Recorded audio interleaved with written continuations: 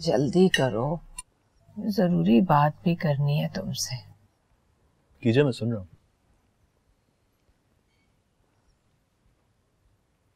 शादी कर लो।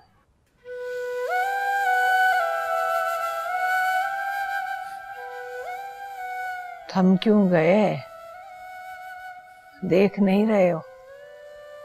बालों में कुछ सफ़ेद भी निकल आए। यूँ ही बेऔलाद पड़े रहोगे क्या? नहीं दादी। नहीं?